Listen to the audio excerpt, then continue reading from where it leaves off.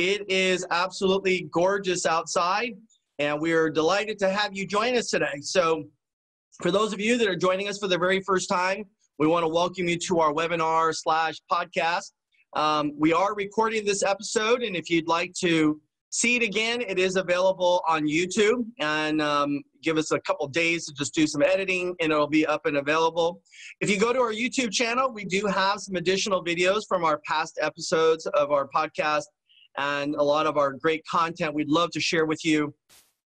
You know, um, since the COVID-19 outbreak in February, March, depending on, you know, whose records you're looking at, but you know, most of us, I think we're like on day 120 or 100. What is it now, Matt? 130, 125 now officially uh, of our quarantine, and we have been doing these types of uh, meetings in our in our brick and mortar facilities in our office. And because of COVID-19, we have all had to adapt to some changes, obviously, and we are now recording on Zoom and providing still amazing content for you. So you know, I know that a lot of you may uh, uh, that are joining us for the first time are facing some tough times right now. You're you're you're dealing with some adversities, some challenges, some unknown factors. Uh, there's a lot happening uh, in our world, not just here in the United States. Everyone thinks that you know everything that's happening is only here in the U.S. And uh, you know, there's this is a worldwide problem that we're all facing today. And all that really means is that at a point when we're facing times like this is that we need to come together as a human race that we need to come together and be resilient because we have faced many adversities maybe not to this magnitude some of you are relatively young and have not experienced some of the things in the past but you know we have faced other adversities and you know we've always come through it and so i want you to know that as we continue to do what we do every single day, that you have to be stronger now. You've got to be mentally tough now more than ever. And so, you know, we want to provide you great content. We don't want you to feel that a virus, you know, COVID 19 is going to hijack your life, okay? Yes, you have to quarantine. Yes, you have to wear a face mask when you go out uh, as you're going to get groceries or whatever.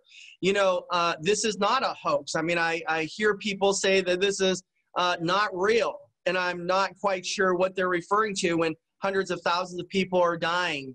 Um, I know some people said, well, it's only 1%. Yeah, it's 1%, but it's only, uh, that's what they're reporting is 1% are the deaths. They're not reporting the uh, the other people that are that, that this can have a long-term effect whether it's you know for their heart their lungs their you know their cognitive abilities anything else i mean there are a lot of other ancillary issues that come from covid-19 and it's not just the elderly it is attacking a lot of the younger people today as well um, middle middle age i mean i know my friends i have good friends that i have lost and i have um, associates of mine whose parents have they've lost. I mean, this is definitely a time of crisis, but we have to still continue to make a living. We still have to provide for our family, right? And so we're trying to do whatever we can to provide you as much content uh, to help you grow and to, to, to deal with what you're facing today. And so, you know, every week we do something. Let me bring up my PowerPoint here. Uh, let's see, is this it? Yeah. All right, I believe you should be looking at that. Great. So, um, do I have a clicker here somewhere? No, no clicker? All right. Um, so next week on Tuesday, I am bringing in a man named Mauricio Bauza.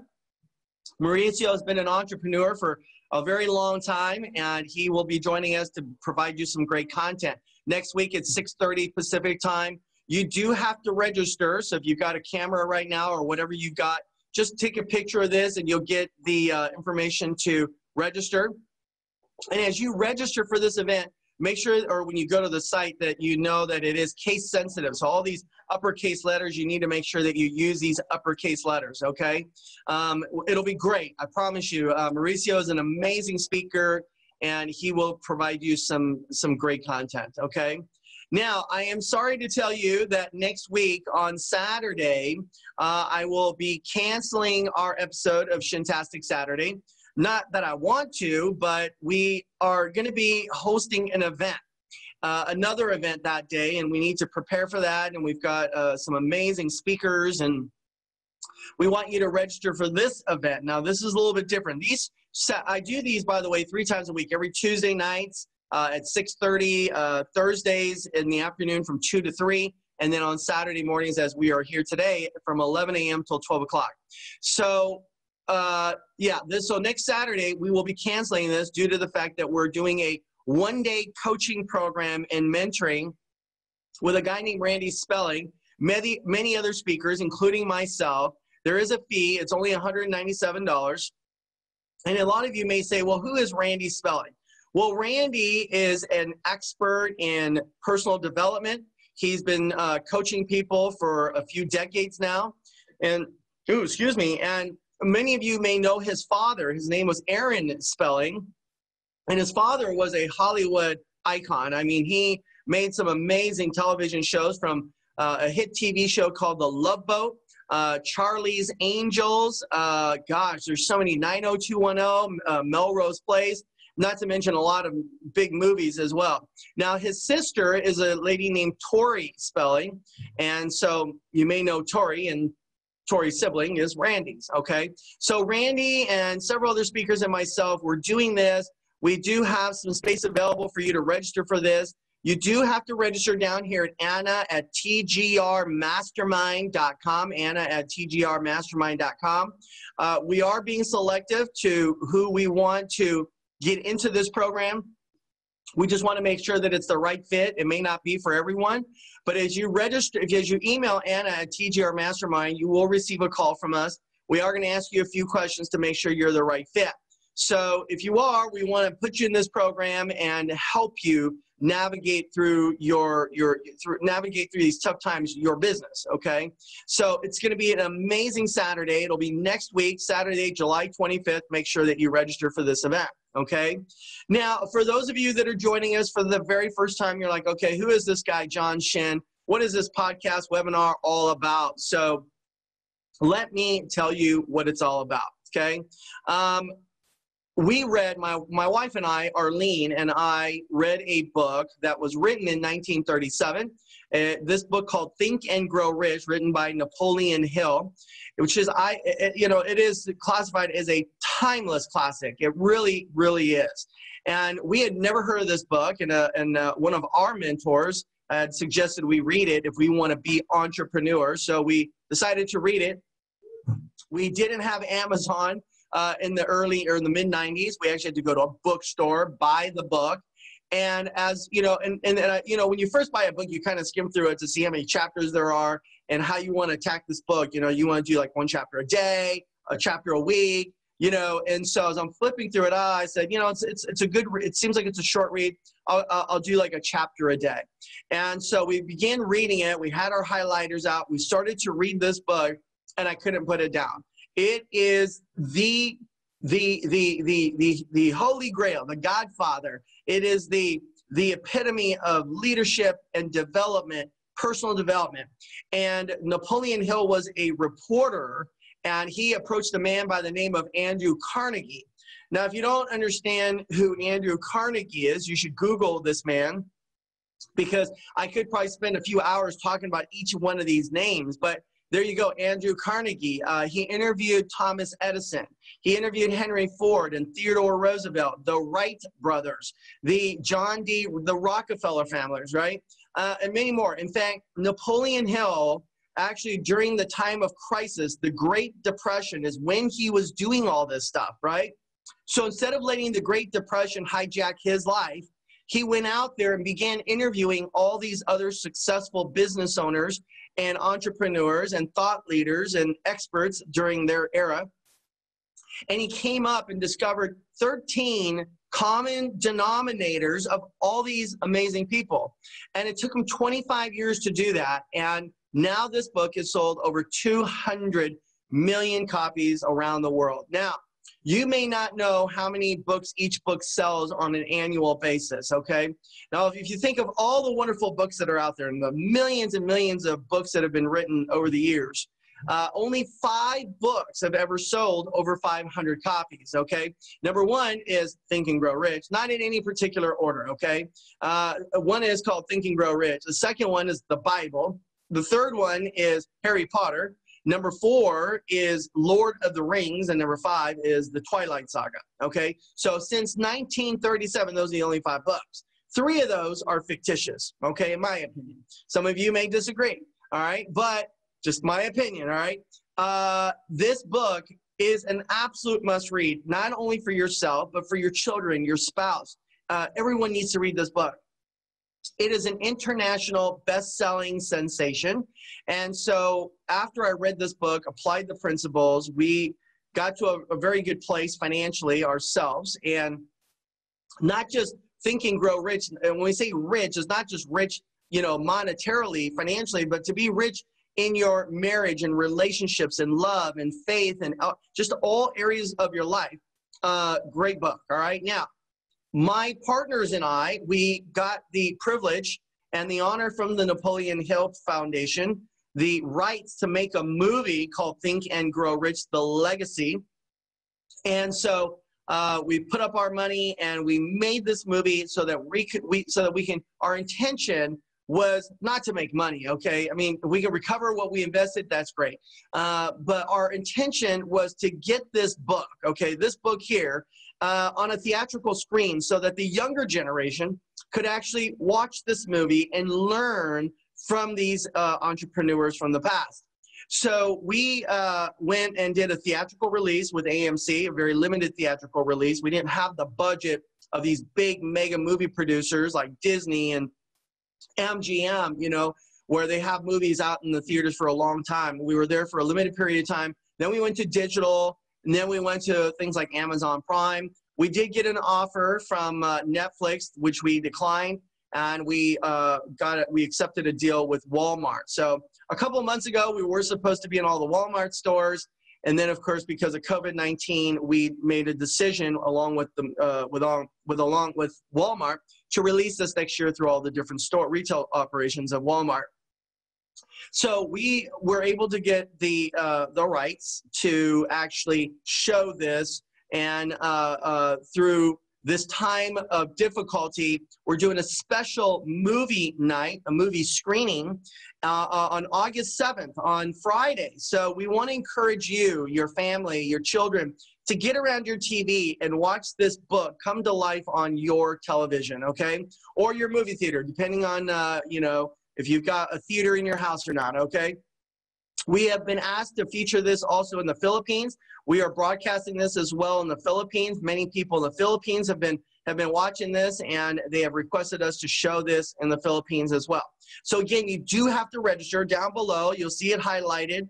Uh, you'll see the arrows going to it. Make sure that you register for this called Think and Grow Rich, the legacy come to life. All right. Now, for those of you that can't uh, be there, but you want to watch it, it is available on my website at johncshin.com.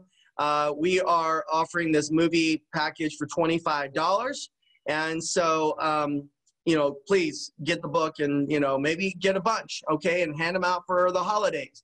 Now, can you imagine the holidays? Like Christmas will be here in no time, it feels like. So now there's this book called Think and Grow Rich, which has been re, uh, re-released with the unedited version of Napoleon Hill's writing. So this is now available on Amazon. Uh, Think and Grow Rich, A Black Choice was released by Dr. Dennis Kimbro. We have the Latino Choice by Lionel Sosa.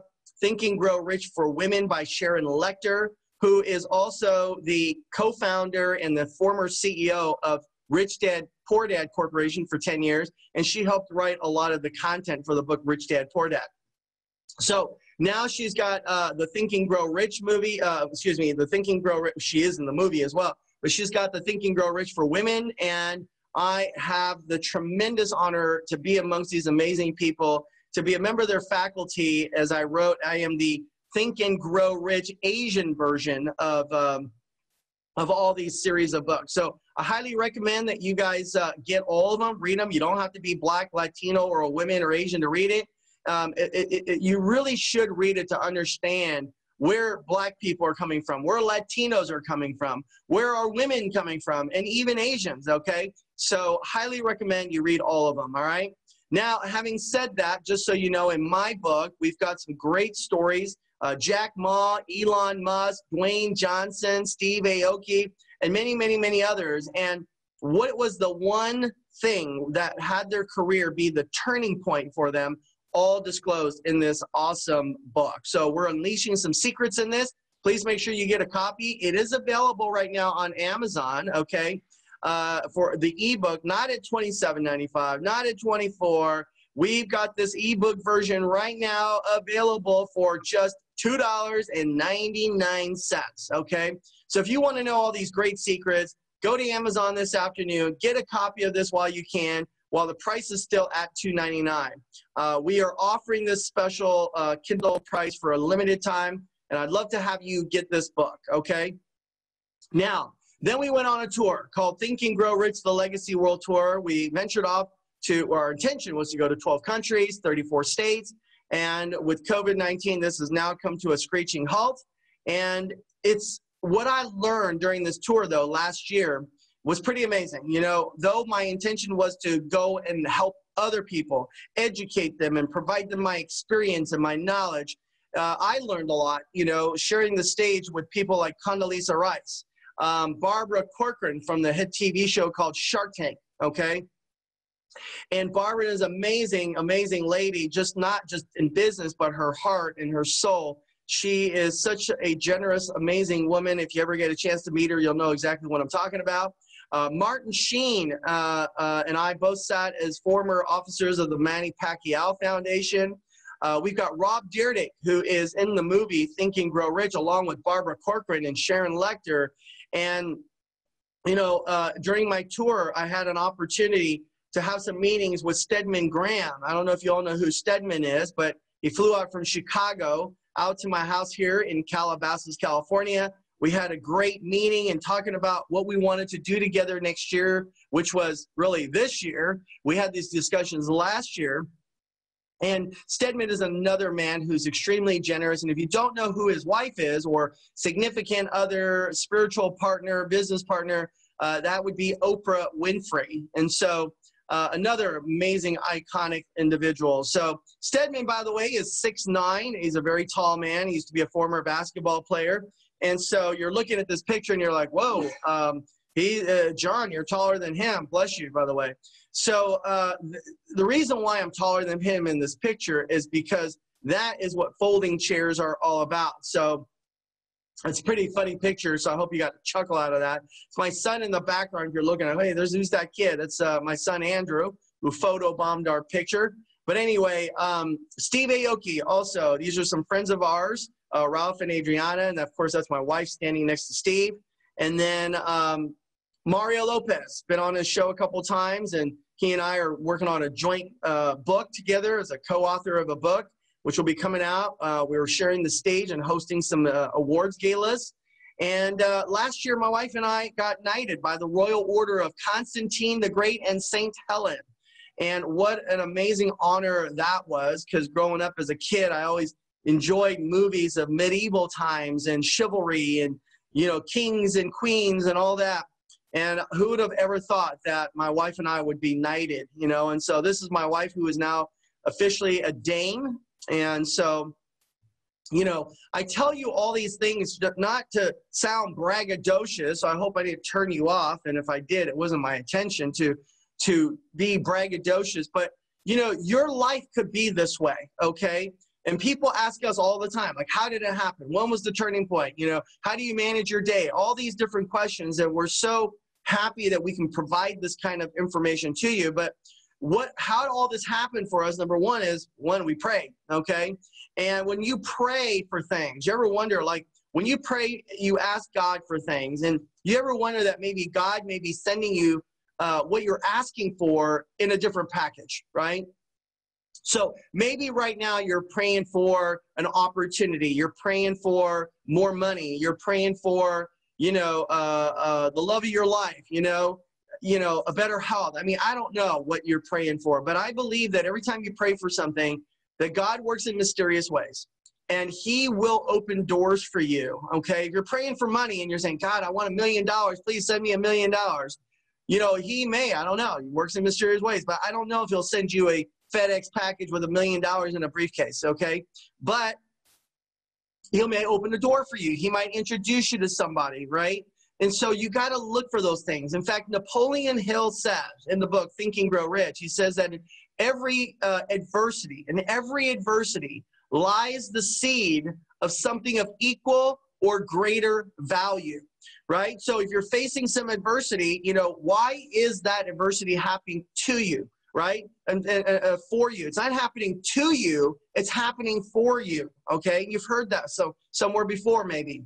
And so the fact that you're here today right there's a lot of things you can be doing on this beautiful saturday morning okay or saturday afternoon if you're in a different time zone but you know something you know why are you here? And so the person who invited you, maybe a new door's opening up for you, and you have to recognize it. Okay, you've you've got to your mind's got to be like a parachute, right? It's got to be open, or it's not going to work. Okay, you've got to be open-minded to things, and so another thing that happened for us, how it happened for us, is is timing. You know, we we were both my wife and I were at the right place at the right time. We I shouldn't say we, she recognized an opportunity, a window.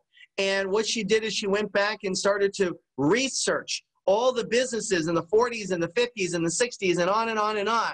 And so when she showed me this timeline, I, you know, I'm not the sharpest knife in the drawer. Okay, I'm not that. I mean, I'm I'm not dumb, but I'm not brilliant like some people think. Um, I'm definitely not one of those nuclear scientists and know how to create a, a rocket ship that can, you know, go to space but I mean, I've got common sense, okay? I'm, you know, I'm looking at this, I'm like, it's not just coincidence that when 80 million babies were born between 1946 and 1964, and suddenly the baby industry started skyrocketing, and then after that, not only was it Johnson and Johnson and Gerber Food, but then Mattel Corporation and Hasbro, they started doing well. And then from there it was McDonald's and KFC, the fast food revolution.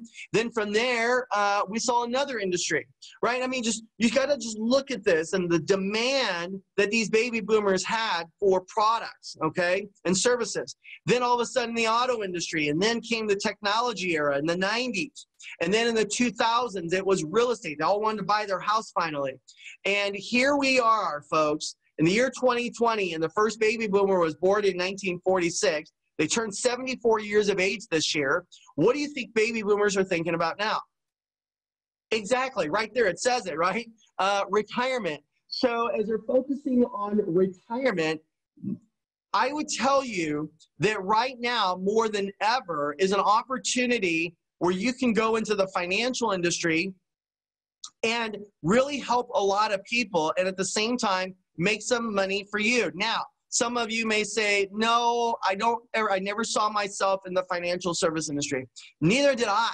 I never ever thought in my wildest of wildest of dreams that I would be in this in this industry, okay?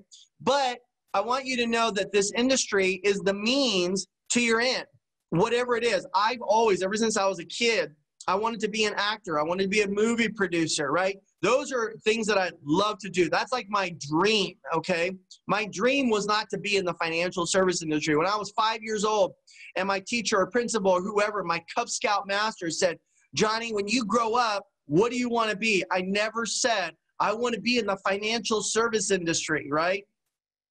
I said things like, I want to be a movie star. I want to be a movie producer. I want to have a star in Hollywood, right? I would say things like that. And so that's my dream. But because of this business, I've been able to do the things that I've always wanted to do, to pursue and uh, the dreams I've always wanted to have. Okay, so I believe that this is the vehicle for many people, and also acknowledge the fact that you know what we do, financial education. Financial literacy is an absolute necessity uh, in the world. In fact, in the United States here in 2012, 37 states required sex education. Okay. Now, folks, I'm not trying to be anti, you know, uh, I'm not trying to be uh, uh, like, I don't, I don't believe in sex education. I, I just believe that if our children are old enough to, or, or they're old enough to learn sex, then they're old enough to learn how money works. Okay. So, but right now, only four states required financial literacy courses. Okay. Now, in 2015, okay, let's see, 2015, we added one state, which was Alabama. Now, in 2020, we added two more states, which is Iowa and North Carolina. So we have a total of seven states right now in our union of 50 states that require financial education in our high schools. And this is so sad because now our children are growing up and they don't know the difference between a stock and a mutual fund. They don't know the difference between a UIT and an ETF. They don't know the difference between a, an IRA and a Roth IRA or, you know, active management versus passive management. They don't know if they should, what's better? Should I lease a car or should I buy a car? What are the differences? When can I buy a house? When what should I think about when I'm buying a home? What do I look for? So, you know, other countries are educating their children in high school and even in junior high. But in our country, we only got seven states in our high school system. And even in our collegiate level, many of our universities aren't teaching our children about money either. So it's really, really sad when you look at people, uh, successful people, when you look at, you know, people like Will Smith, uh, Dwayne Johnson, The Rock, uh, Steve Aoki, Mark Wahlberg, the list goes on, Jennifer Lopez, okay? All these people, you may think of them as just a movie star, an actor, a singer, or whatever. They're not just a singer and an actor or whatever you might think they are. They're really amazing business people. They understand how money works. When I look at a doctor who makes four, five, six hundred thousand dollars and they got no money and they're bankrupt, right? These are doctors, medical doctors, okay? So why is it that because you know doctors go out and start their own practice and then they fail and close up and they don't do well? It's because no one taught them about money and how money works. So today I want to talk to you about the six pillars to secure your financial future all right? Number one is this is is increasing your cash flow. Uh, now more than ever robert allen wrote a book called multiple streams of income multiple streams of income. And i do believe that you should have multiple streams of income but i think that if you have a job right now you should start another business okay as a backup to your job and get out of that what I call active management or active income. What I mean by active is you're exchanging time for money, okay? Exchanging time for money. So instead of you know going and working for an hourly wage and working for a salary on a given for a year, you know, or a monthly income, stop focusing on active income and start focusing on passive and residual income. And so now more than ever, you need to increase that cash flow of yours but before you start going into like two, three, four, five, six, seven different types of businesses and industries, focus on one first, okay? Focus on one business, make a seven figure income and an eight figure income. And then from there, you can start to go and explore other businesses. But you can't start a business and focus on, you know, 10 things at the same time. Focus 150% on one business and then you know, now you can start looking at other things. Okay, so let's talk about um, helping you manage your debt. Get out of debt as quickly as possible. Uh, number three, have an emergency fund. Well, you can tell right now more than ever, best time to start saving money for your uh, emergencies. Most of you should have reduced expenses nowadays. And so, why not start an emergency fund? Okay, proper protection, secure your uh, future by saving money for long term. And number six is to protect your assets. Okay, these are the six steps to financial security. Write them down, take a picture of it. Now, what I'm doing is every Thursdays at 2 o'clock p.m. Pacific Standard Time, I am offering a free complimentary uh, education on how money works. All those things I teach you here, I'm going to teach you here. So, you know, there's a lot for you to learn. Things like, hey, should I have a corporation? How do I minimize my taxes? How do the rich people not have to pay so much in taxes? All these different things we're going to teach you here. Please join us at Thursdays at 2 o'clock p.m. Pacific Standard Time. Okay? Now, when you're sick, where do you go? Okay, you typically go to a hospital, right? Now, when you go to a hospital, you have a doctor, and then the doctor then sends you off to all these different specialists. And so when I recognized this in 1996, as my wife gave birth to our first child, Matthew, uh, we had Kaiser Insurance at that time. And so we went to Kaiser, and I really was just you know it's it, you know everywhere I go I'm always thinking know, I go to a restaurant and it's packed I'm like wow these guys got some good business going on right or I go to some venue and there's a lot of people I'm already like I'm already thinking like how much are they making what's their profitability I'm sure what are their expenses what did it take to organize this event you know I'm always thinking business so I was in the hospital and I'm like wow this hospital really has it together very efficient uh, at Kaiser. And so I was like, okay, that's what I want to do. I want my vision. And as I shared it with my wife, Arlene, I said, honey, I said, I, I think we should own a financial hospital. That's what we need to do is create a, a company where we can offer, just like they did here, right? We can offer all these different things and have experts here in different areas of the financial industry. So we, we offer uh, quite a bit here. We've got experts in the lending business. We have merchant processing. We've got experts there. We've got property and casualty. We offer insurance. We do annuities, college planning, retirement, uh, registered investment advisory, um, estate planning and debt settlement, tax planning. We got it all. So we have created a one-stop shop. And in the 90s, when we started this, everyone said, oh, this isn't going to work. You're like the jack of all trades. But understand, we're not the jack of all trades, okay? It's like having a hospital and having experts, right, in their medical area or their specific area of, of medicine in a hospital. We're no different, right? It's no different than going to a large law firm and realizing that there's experts in law, right? You've got patent copyright lawyers, there's corporate lawyers, there's, you know, um, uh, there's litigators that are professionals, right? Criminal lawyers are experts, right? Uh, uh, real estate transaction lawyers, uh, estate planning lawyers. There's all different types of lawyers, immigration lawyers. It's no different what we've created here. And as everyone said this wasn't going to work, we've now opened up offices in all 50 states. We have an office up in Canada. Uh, we've got over 200 offices now operating. These are brick and mortar, uh, though we are all now working out of our house, but we do have brick and mortar facilities all around the country. Okay. So I have invested in a lot of different businesses. And I got to tell you, I mean, everything from e commerce to solar panels to valet parking to farms to real estate, commercial, industrial, residential. We, we have owned it all. And I, and I highlighted financial because number one, it's been the most lucrative, the most lucrative.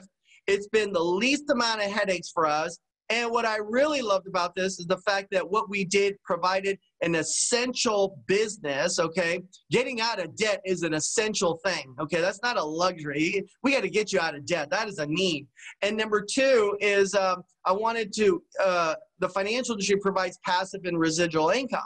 So as I to you guys about passive and residual, one of my favorite slides is this right here. It says that if you don't come out of this quarantine, or stay in home order with a new skill, a new knowledge, a new side hustle, a new business, then you didn't lack time, but you lack discipline.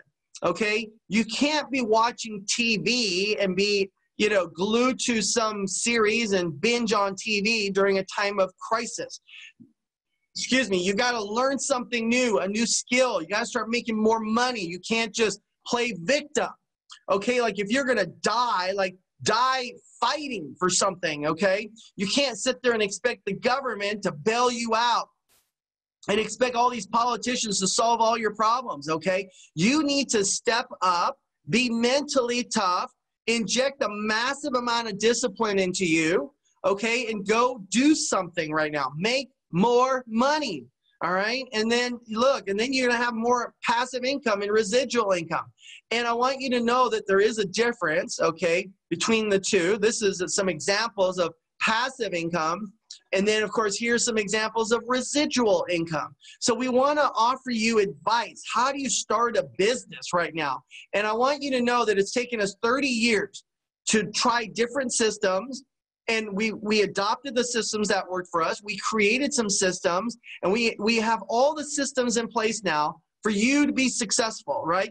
Whether it's business format systems financial systems licensing systems any kind of business you start you're going to need a license. Any. You want to open up a restaurant you get a license okay? You want to become a cosmetologist and do hair you got to go get a license You want to sell real estate, you got to get a license. You want to go sell investments and stocks and stuff like that, insurance, you got to get a license. Everything requires licensing if you want to make money, okay? Big money, that is. Personal development systems, leadership systems. We've got it all down to a science. Now, it's up to you. It's for you to make some decisions about what you want to do with your life. Going and finding your purpose, your calling, your passion. Okay, what do you what is it that you love to do? What is it that you would do for the rest of your life? Okay, that even if you didn't get paid or made little money, you would love doing it, okay, because you're passionate about it. So for being people say, you know, John, you really work hard. And I look at them and I'm like, what, what do you mean? I said, I don't work. And they go, what do you mean you don't work? I mean, you work like 20 hours a day. And I go, no, no, no, no. I, I'm, I'm enjoying my hobby. Like right now, talking to all of you, this isn't work, right? This is, this is something I love to do. Coaching, mentoring, right? Encouraging people, uh, inspiring people, motivating people. That's like a calling. That's not work. I'll tell you what work is, right? Go, go to my ranch and look at all the weeds that are growing on my ranch and cutting all those weeds down. That's work when it's 110 degrees outside. That's work, okay? This is not work. This is something that I love to do. And I am just looking for a few people that I can coach, that I can mentor. And I've got a special boot camp that's coming up. I'm going to show you guys a slide here at the end and how you can register for this boot camp. But I've got a boot camp that's coming up on August 8th, okay? August 8th. And it's called MTC, MTC. And what MTC stands for is make that change. Make that change. So what is that change? What is and it doesn't so for some people it doesn't even have to be that big of a change, but just a little tweak in something that you can do it's kind of like a car. You know, sometimes it needs a tune-up job, right? Uh, you know, when you're playing a guitar and you know you're playing the guitar and you're trying to get a tune and it, it, the sound isn't right. You take it, your, your guitar and you tune it up a little bit, right? Your piano, you got to get it a tune-up job so it sounds perfect. Some of you just need a little tune-up job and then you'll be humming, right? So I would love, and it would be a privilege and an honor for me to help mentor some of you, not all of you, okay? Because some of you, uh, uh, I don't think you're that serious, right? You, you really don't want to make any uh, make any massive changes in your life. You're comfortable, right? You, you, you don't have big dreams, okay? And if you don't have big dreams, I can't help you. You've got to have some big dreams. In fact, Dr. Martin Luther King said that most people die at the age of 25. We just don't bury them until they're 85 because you've given up. Like even like a time like right now, when I say right now, during a time of world crisis, a pandemic, there are certain people still making money, right? Jeff Bezos is still making money. Facebook is still making money. Zoom, the platform we're using right now, is making money. Shopify is making money. Wayfair is making money, right? Amazon is making money. Everybody's making money not everybody, a lot of people are making money still. So when you hear the news, right, and they say things like, you know, the stock market is crashing. It's not crashing, okay? It's stable right now and it's still growing and people are making money in the stock market. Now, if you're like saying, well, where, who's making money in the stock market? Well, that's another conversation you and I should have face to face, right? Via Zoom, not like together live, you know, but let's have that conversation. But there are people making money. I can tell you I'm making money. In the last four or five months, my income has increased tremendously. I'm like, you know, I don't even want to say it that loud because um, I'm going to have the haters hate me for me making money, right, during a time of crisis. But, you know, I'm making money because because I'm providing solutions to people, right? People are in need of a pro they're looking for a, a need of a solution for their problem and so i've got the strategies right people you know if you've got the problems i've got the strategies and I'm making money. And so you can also help these people as well. But I'm in the leadership development, right? I, am looking for people that I can help and and and and develop leaders. So if anything that I said to you today resonates in, in any any way, in any capacity, please get with the person who invited you today. Ask them, how can I make more money? I got to make more money. I just got laid off. I've been furloughed. furloughed indefinitely. And even though I've been furloughed, I don't even want to go back to my employer or my job. I agree with John. I need to start building more money. I need to write a book. I need to start my own show, my own YouTube channel, my own uh, business, right? In the financial service industry, my own podcast. I don't know, a YouTube channel. Okay, you got to start somewhere, and and and I'm I'm willing to help you. Okay, for free. Who's going to do that? Everywhere you go today, most of these other people want to charge you money and an obscene amount of money to to help you. I don't really need to make more money. I make a lot of it, and I have a lot of it already. I'm just trying to offer you some constructive uh, advice so that you can actually get your life to where it should be. Okay. Get with the person and say, I want to know more about what, how money works. John is right. I got to start an emergency fund. I got to get the right insurance policies. I don't even know what I have. You know, every time I ask them, I go, Do you have a life insurance policy? They'll say, Yeah, I do. And I say, Great. What kind of policy do you have? I don't, I don't know. What? How do you not know what kind of policy you have? If you died, would you not know how your children wouldn't even know what kind of policy you have? I kid you not, I was on the phone two, three days ago, and um, this lady was telling me, uh, she said, I go, how many insurance policies do you have? She goes, well, I got like three or four or five. And I was like, great, who are they with? She's like, uh, I don't really know. I, I think it's with this company, this company, and this company. She had like four or five different companies. So we ended up calling together. I got the client on the phone with one of our reps, and then we call the company and we're like, hi, uh, we got the client on the phone. We'd like to ask you some questions about their policies. If you can even see, um, uh, if you could look up their account, and they're like, sure, they look it up. We looked it up on their social security number, looked it up on a uh, any kind of policy numbers or whatever. And the insurance company said, oh no, your policy canceled back in 2016. So here's a lady who actually thought she had life insurance, right? But the policy uh, uh had expired. Not that it expired, it lapsed, okay, because a non payment. And she didn't even know that they stopped making payments on this account. So how it stopped, nobody really knows. Okay, maybe they changed bank accounts and didn't tell the insurance company, but the policy stopped in 2016. Can you imagine if her husband or she died? Their children would be like devastated because the policy uh, expired. So we hung up. I could tell on the phone that she was like, "Oh my God!" Okay. Then we called another insurance company and find out from them that there was also no insurance there. So out of the four policies or five policies that she thought she had on herself and her husband, she's only got one policy out of all of them. So it's still better than zero. But I mean, this is what I mean. We had uh, years ago, I had another lady who said she had like eight insurance policies on her husband. The husband died.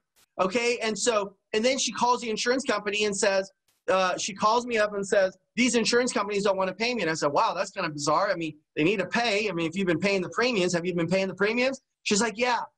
I said, Okay, well, then they got to pay.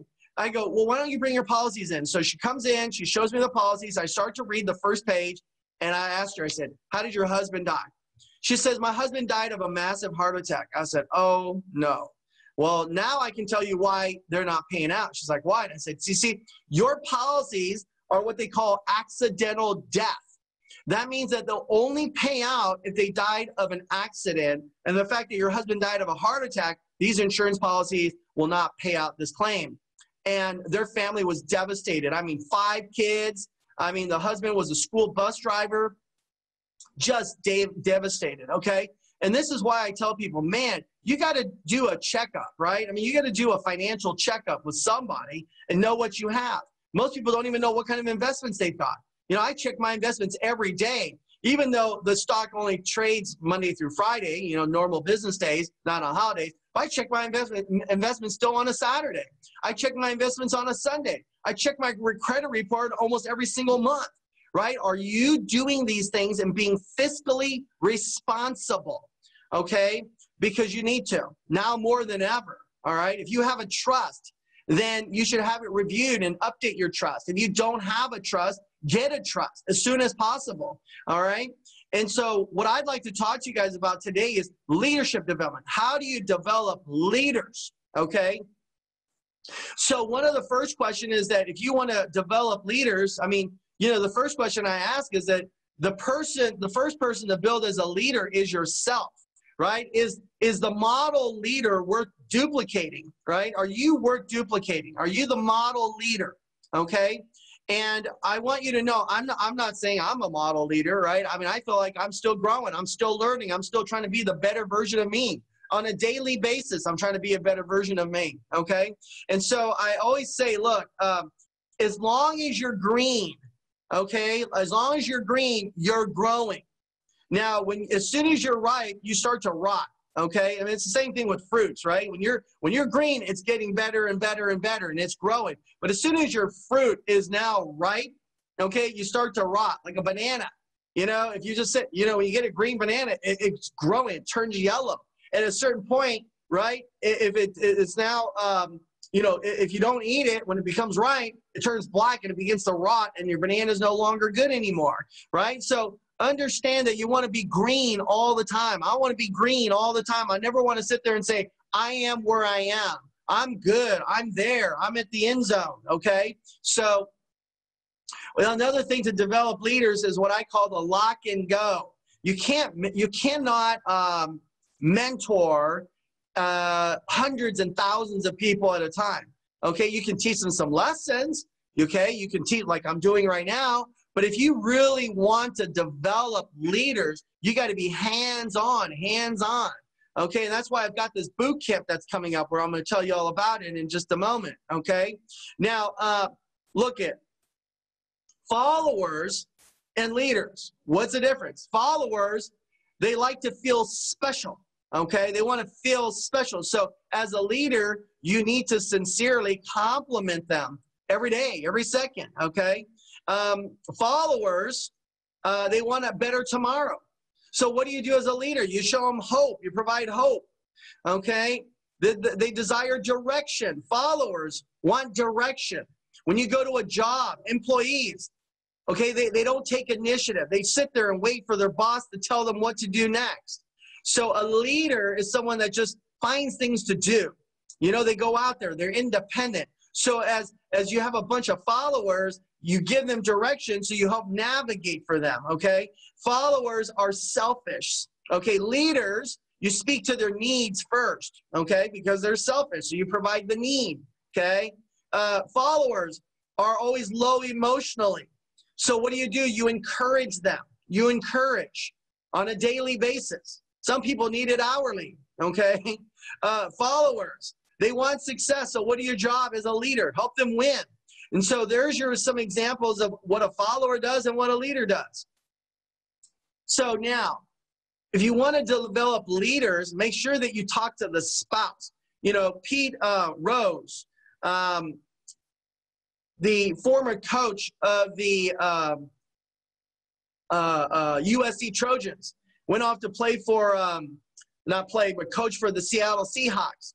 You know, I, I was talking to him one time and I said, hey, what do you do to know you've got the best athlete? Like, how do you know that this athlete is somebody that you want to take into your program at USC? Or how do you know you want to take them, you know, into professional football?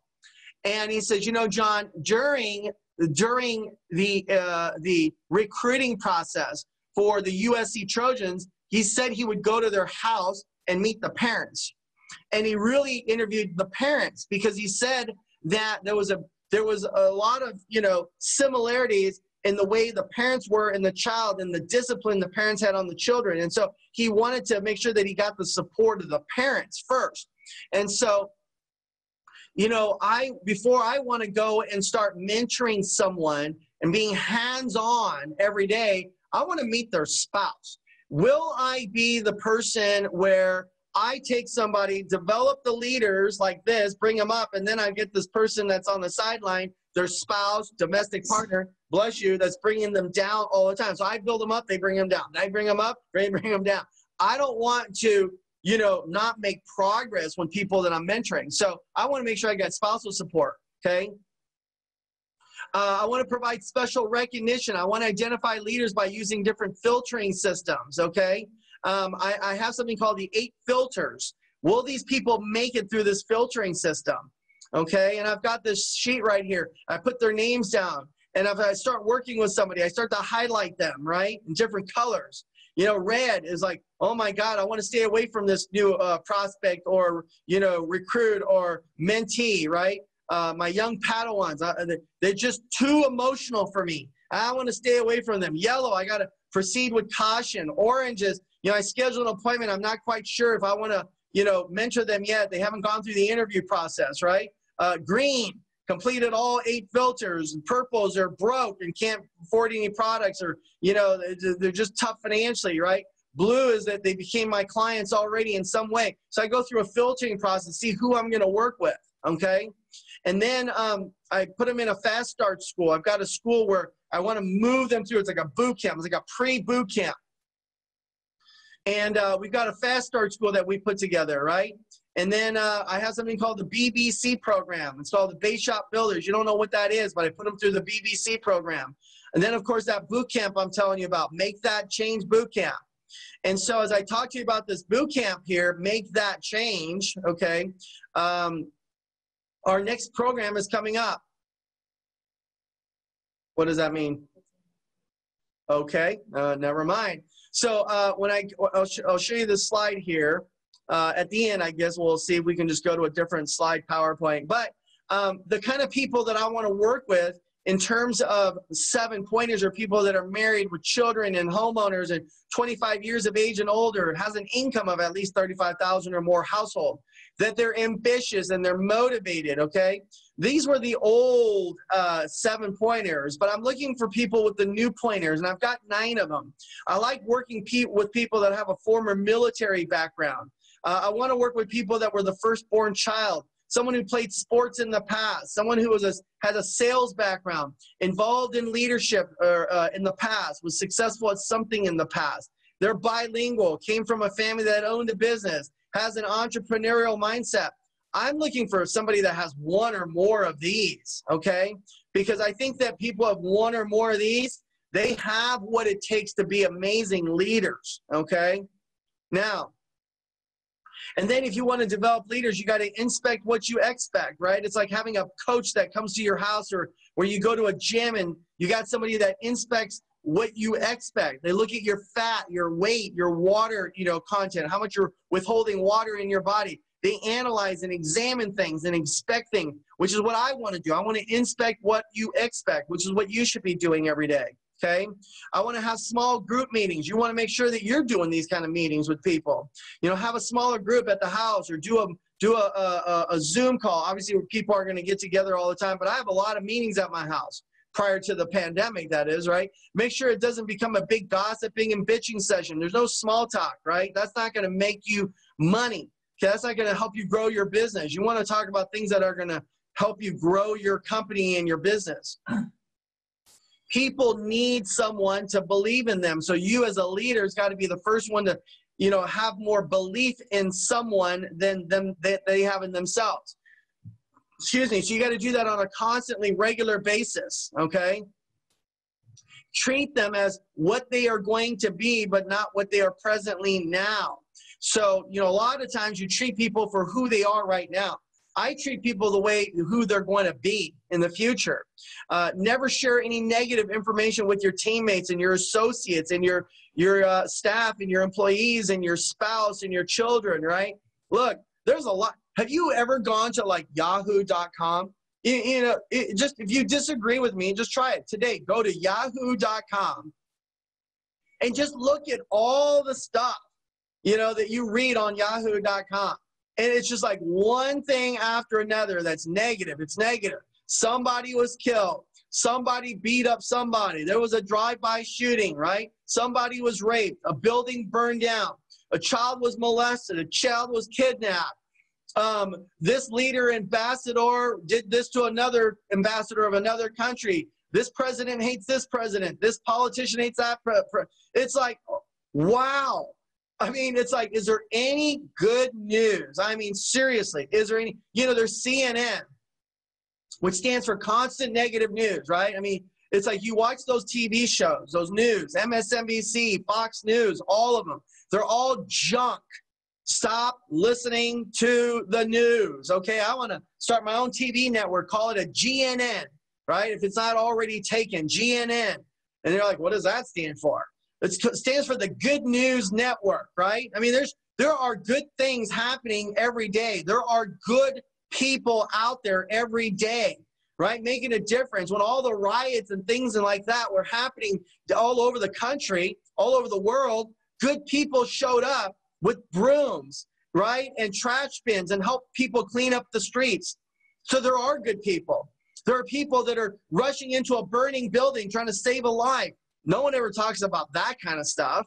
So there are good people. There is good news out there today, but you just got to tune into things like this, not the news, to uh, get your daily updates.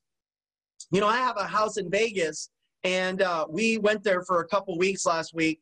You know, during the Fourth of July, and you know, in our house we have TVs, which is I don't know why, but we have TVs everywhere. But we don't watch the TV. There's no, we don't have cable boxes. There's no, and um, we basically said while we're here, we're not watching any TV. We're not watching, we're not going to go on the computer and watch anything on the computer. We're not going to watch uh, things on our phone that has to do with the news. So for about two and a half weeks we were there, we it was so relaxing that we just tuned out the media, just tuned it out. Like I feel like we should as a nation like ban the media. You just watch what happens if we all stop watching the media for just three days, things will calm down. I really will. Things will calm down. But every day, you know, more people dying, more crap happening. It's like, my God, it's like ridiculous. But I don't want to share more negatives with people, right? Do they get excited about telling their friends and family about what they do? You know, it's so bizarre that people make career changes or venture into something new, but then they don't want to tell anybody about it. They want to keep it secret. Like, why would you do that? You want to tell everybody. Change it on your Facebook, right? Change it on your Instagram, your uh, your LinkedIn. You send out newsletters, send out emails, and tell everybody, hey, I've changed careers. I'm now in the financial industry. I'm in the you know jewelry industry. I'm in the herbal business. I'm selling CBD. I'm in the uh, coaching business. Tell people that you're doing that. Okay, how are how are people going to know that that's what you do if you're trying to keep it a secret? Okay. Um, learning how to manage your time better. If you have an associate that knows all the stuff going on in the media, the news, television shows, everyone's lives, they aren't working. You know, I, I don't even know what's going on in the world. I don't want to know what's going on in the world, right? Because there's nothing good that I want to hear. I want to go and create my, I want to go find out good stuff. You know, that's why I call the people that I do in my circle. You know, every time I text one of my friends, like, how you guys doing? You know what they say? Fired up, doing amazing, Great. Business is rocketing, right? Spending time with my children. You know, uh, I was with, uh, not with, but Greg Reid, right? Yesterday. I don't know if you guys all know Greg Reid. And he texted me and he said something like, uh, hey, John, he said, uh, you know, I wish I can show this to you, but um, um, I'll bring it up right here. I don't know if you guys can see it. Um, he says, he goes, I don't know if you guys can see that or not, but he texted me and he goes, hey, he says, your books are at the airports. And he's like, would, right? So can you imagine? He's telling me, oh, my, my books are in the airport. And then um, I was like, what are you doing? He's like, I'm in my backyard camping with my son. so, I mean, you know, it's like, it's so cute. I mean, it's so great. You know, people, you can't be like negative and watch all this stuff on the TV, man. It's like, get out of it. Working on what? What are you working on right now to be the best version of you? Are you making phone calls? Are you doing one-on-ones? Are you out field training? Are you doing follow-ups? Though this is what you should be doing every single day. Okay. And if you're like, what does that mean? Field training and follow up. Uh, well, then tune into my podcast and I'll tell you what it means to do. What does follow up mean? What does field training mean? And I'm going to show you how to make some real money. Okay. And then I want to identify people's strengths, cultivate their strengths. Why in the world would anybody ever focus on their weaknesses? I've never, I mean, that's just, when someone says focus on your weaknesses, improve your weaknesses, I 100% disagree.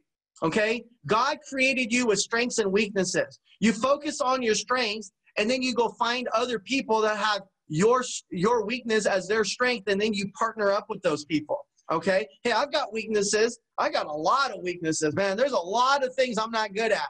Okay? But I'm not going to go and become an expert of that. I'm going to find somebody who is an expert and then team up with them and make them my partner and part of my team. I also want to make sure that you do a lot of what they call EPR. EPR, that stands for encourage, praise, and recognize. If you want to lead people, EPR people every day, every day. Encourage your people, praise them, recognize them. Your kids, if you want your kids to be great leaders someday, encourage your children, praise your kids, recognize them. All right. And, and you do this for your parents, right? Encourage your parents, praise your parents, recognize your parents. Okay. Now more than ever, you should be calling your parents every single day. I don't go a day, a day without calling my parents once or twice a day, a day. If for whatever reason I skip a day for some crazy weird reason, I even have a hard time sleeping that night, right? I just feel so bad and guilty. I tell my mom and my dad every single day how much I appreciate them and I recognize them as being the best parents that I could ever have had in my entire life. I, I, I, I praise them for being such great parents to me, right? So you need to do that every single day. I want you to do that today, right? I want you to call somebody that you uh, are angry with, that you're pissed off with, that you uh, are, are, are uh, have a grudge against, right? And guess what?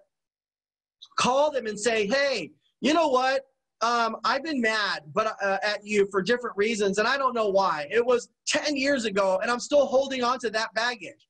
And I, and I just want to make amends, and I want us to be where we used to be, you know? Say something nice and encourage them because you tell them, say, you know, you're such a great person, and uh, you, these are your strengths. You always made me feel this way, blah, blah, blah. And we had this misunderstanding, and now we don't talk. And I, I don't want to live that way. And so make amends, right? I mean, go back, call somebody that you're pissed off with. And little do you know that you might have the, you know, I went to my high school reunion uh, uh, a couple years ago, and there was a girl, and she came up to me and she said, John Shin, I have been thinking of you for X number of years. And I'm like, me? I'm like, what I do? And she says, when we were in elementary school, I'm like, yeah. She says, I was so mad at you. And I was like, me? And I go, for what? What did I do? And you know what's crazy is like, number one, I don't even remember what the hell she was talking about. Number two, I don't even remember her that well from elementary school. And she's held that grudge all these years. She came out to me and said, you know what? I just want to make amends and I want to just get to know you better. And I was like, okay. And I was like, great, let's swap phone numbers. And after that reunion, we went out and had lunch. And it was like, wow, okay. And and and and she cried and cried and cried. And I felt so bad that she's lived with this all her life. You guys, it's not even worth it. Some of you guys, you let other people control your life and they don't even know that you've got this thing going on inside you. So folks, do something like that this weekend, okay? Bring peace to your life. Bring peace and harmony now, okay? And I want you, as I said earlier, inject a massive amount of discipline into your life, okay? I want you to know there are three types of competency. One, those who see what needs to happen, those that need, uh, see what needs to happen, those who can make it happen, okay, and those who can make things happen when it really counts. Let me just tell you something. Right now, more than ever, is when it really counts. Like, I need you to all step up like you've never done before, okay, and, and have some competency in yourself, faith in yourself. I want you to start getting into our calls every Tuesday, Thursday, and Saturday. Start getting around some big thinking people. I want you to get around with Randy Spelling and his and his circle of influence you know, and start hanging around those kind of people. They may open doors for you and introduce you to other types of people, right? And then I want you to drill for skill. There's a lot to do with this that I don't want to get into right now, but listen, leaders need to know what they want. You need to know what you want right now, more than ever, right? I want you to start pointing, uh, start have a starting point of all achievement is your burning desire. What is your desire? Okay, if you want to be an effective leader, you've got to know what it is that you want.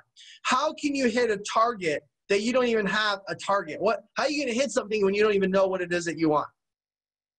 That is the only way you'll ever be able to recognize the opportunity when it comes is, you know, have hunger, be open-minded, be a crusader, okay? Now, 14 characters of a leader, and I'm going just a tad bit over time, and I'm going to be done here in just a few more slides, okay? Just a few more slides.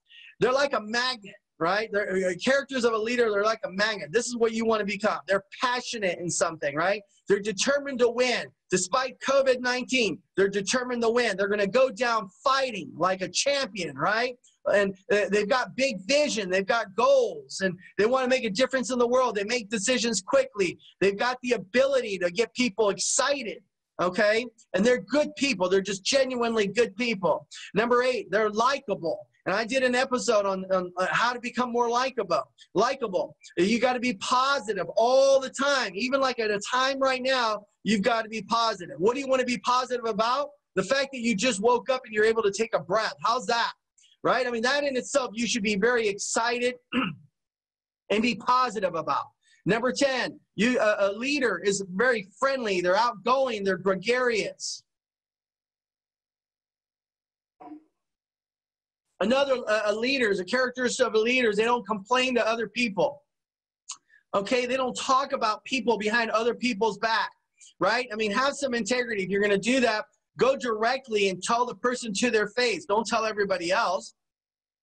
13, you support all initiatives. 14, you're competitive. These are, this is what you got to have to be a great leader. All right. Now, get you know if you're going to mentor people and develop people your associate your your your your mentee your young padawan right get their commitment you don't want to run an adult daycare center in business next thing you know all you're doing is just dealing with everybody's problems okay and uh, that becomes a nightmare you know and so when it comes to commitment there are four types of people folks okay four types of people when it comes to um, commitment right number one is uh, cop outs there's a lot of cop outs out there today. People have no goals and don't commit, right? They're, just crazy people, man. There are a bunch of cop outs out there. Number two are holdouts, right? Holdouts. These are people who don't know if they can reach their goals, so they're afraid to commit. They just don't want to commit because they're like, well, that's not going to happen. You know, John's talking about making a million dollars. Well, that's not going to happen, right? And so, uh, so they don't want to commit. They don't even. They don't think they can reach their goals right? Who, me? I'm going to make a hundred grand a year? Uh, no, it's okay. I'm good. Let me go watch Gilligan's Islands, and that's going to change my life. All right. Number three, dropouts. People who start something, and then when the going gets tough, they quit. They drop out. And there's a whole bunch of what? Dropouts out there today, right? A whole bunch. Uh, number four is what? All outs. These are the kind of people I'm looking for, right? So I'm looking for people who set goals, who commit to them. They pay the price to reach their goals and their dreams and their objectives, right? They go all out. And that's what it takes, even during a time of crisis. So, my question for you is this Are you a cop out? Are you a holdout? Are you a dropout? Or are you an all out? Which one of these are you? I think most of you are all outs. But if you're a cop out, then stop being a cop out and go all out. If you think you've been holding back, right? You've been holding out on us, don't hold out anymore. We need you. You've got the talent. You've got the, the, the seeds of greatness in you right now. And if you're thinking about quitting, don't quit. Let me show you something. I want to show you a slide real fast. Let me get out of this. And uh, I want to show you them one slide about quitting. You got that one slide real fast? And then I'm going to show you this other slide about tomorrow. So I'm going to stop this here for a second. I got two slides and then I'm done. And then I want you to guys go and have a shintastic Saturday. I want you to have a shintastic Saturday today because it's beautiful. I want you to reach out. It was an old TV commercial or a telephone commercial from Pacific Bell. Like Pacific Bell, who the hell is that? Yeah, it said, reach out and touch someone. That, that was their tagline. Reach out and touch somebody. I want you to reach out and I want you to touch someone today. All right, now, if you're going to quit, let me just tell you this. If you're going to quit, I'm going to bring up this slide. All right, here we go. If you're going to quit or you're thinking of quitting, here's just write this down, okay? Just write this down. Quit making excuses. How's that? Ouch. If you're going to quit, quit making excuses. You have a disease that's called excusitis. Excusitis. You're using that disease, right? That's a pandemic in itself, right? Number two, quit blaming everybody else. Number three, quit being lazy. Okay? Wake up, folks. Money is not going to come down from the skies. You got to go out there and seize your, what's rightfully yours. Quit waiting for the right time. Now's the right time, everyone. Okay. Next one, quit relying on your associates to do something or your spouse. If your spouse isn't doing anything now, what makes you think they're going to do anything? Right? You go do it. Suddenly, when you do it, now all of a sudden your, your spouse will do it. Okay? I mean, they'll start coming after you start doing something. All right? Quit going on vacations you can't afford. You know, just blew my mind, blew my mind that, uh, um, you know, we were watching on Facebook some friends, you know, and they're struggling. They're really struggling. And so, you know, they were on one of my podcasts and they saw that they can go get an EIDL loan, EIDL. So they got this loan, they got $150,000 and instead of taking that money and investing that money and uh, into their business and keeping their business going, they actually took that money and went on a vacation. And now they, they went to Hawaii. They're in Hawaii. They're enjoying their lives in Hawaii right now and staying at uh, one of their family's houses, right? But they're out there, you know, having a good time with $150,000 and not focusing on their business. And when they come back and their business is gone, they're going to go, oh, how did this happen, right? So quit focusing on vacations you can't afford. Next, quit buying shit every day you don't need. Uh, yeah, you're on Amazon, you're buying stuff, you're on Wayfair, you're buying stuff. Stop spending money right now, people, okay? Until this pandemic is over, we don't know where your future is going to look like. So, hey, save your money. Save, save, save. All right? And quit quitting. How's that? Think about that. Think about all the things that you started and you quit over your whole lifetime. So a lot of us have a habit of quitting. So let's get you to stop quit quit quitting. So if you're going to quit or think about quitting, you know, why don't you think of this slide? Take a picture of that and do me a favor. Don't post this all over Facebook and Instagram, okay? Uh, this is my content, and I uh, don't post this slide. I've got a bunch of other webinars that I got to do today. You can post it in a week, but not this weekend, all right? Um, so that's that. Now, let me go over this one last slide and let you guys know that our boot camp, Make That Change, is on August 8th. I'm doing an orientation. Uh, August 8th at 2 o'clock. It'll probably go from 2 to 3, maybe. I mean, excuse me, 2 to, uh, for three hours, from 2 to 5. I just put 2 to 6. I'm going to probably end earlier, but make sure that you register. If you're serious about being mentored by me. I want you to enroll in this program. It's orientation, okay? Now, this orientation is free. There's no charge, no fee. Come and join us uh, uh, Saturday, August 8th from 2 to 6. And let me tell you what this is all about. Let me share with you what I want to teach you uh, over five classes, over five classes. And I'm going to show you a lot of wonderful things. So make sure you do that. All right, now I'm going to get out of this and uh, give me one second. Um, and then I've got uh, one little slide and then I'm done.